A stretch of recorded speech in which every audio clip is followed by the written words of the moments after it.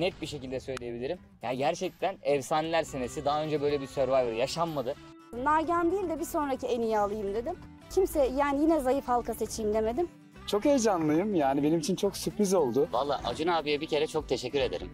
Survivor 2024 yeni bölümde neler olacak? Videoya geçmeden önce durumu iyi olan izleyicilerimizden, özellikle yurt dışından seyreden dostlarımızdan ufak bir ricam olacak. Bize destek olmak için süper teşekkür yapabilirseniz çok mutlu oluruz. Acun daha geçen Ogada'ya bir ödül ceza bile vermemişti. Seyircilerden çok tepki aldığını fark edince Ogeda'ya da sonunda bir laf etti gerçekten. Ogeday çok sinsi bir karakter. Hepinizi kandırıyor. Önceki sezonlarda bu kadar olayını gördünüz mü? Varsa gören duyan yorum yapsın. Herkes öğrensin. Yine de Ogeda'yı destekleyen birçok insan var. Çok iyi yarışıyor. Performans olarak bence en iyisi. Sizin de zaten buna katıldığınıza eminim. Atakan bu sene 2016 hırsıyla gelmiş. Performansı yükselecek. Eli ısınıyor. Her geçen gün daha iyi bir Atakan göreceğiz. Survivor kavgaları çok iyi kurguluyor. O yüzden sadece fragmana bakanlar, kavga varsa dönüp bölümde sadece o dakikaları izleyen krallardan yorum bekliyorum. Hepiniz çok güzel ve eğlenceli şeyler yazıyorsunuz. Yorumlarda farklı bir ortam oluşturalım. Umarım video hoşunuza gitmiştir dostlar. Bir sonraki videoda görüşmek üzere hoşçakalın.